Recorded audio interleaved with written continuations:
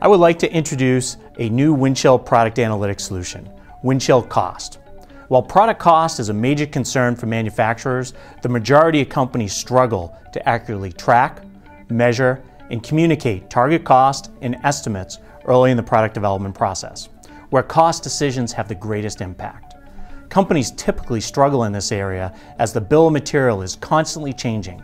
Parts are changing, suppliers are changing, and even the targets to measure against are changing. Not understanding how these types of changes impact cost targets and estimates can make design decisions relating to cost very difficult. Without this information, many companies are forced to spend a tremendous amount of effort in value-added engineering in order to reduce the cost after the product has been released.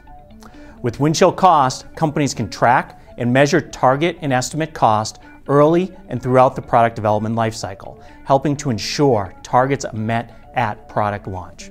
This will also reduce the need for value-added engineering to improve product cost performance after the first release. Windchill Cost will automatically incorporate product changes into cost analysis and enable roll-up of product cost estimates against targets throughout the entire product development lifecycle. These roll-ups can include different product configurations, different cost models for each part, and it uses the appropriate approved supplier parts.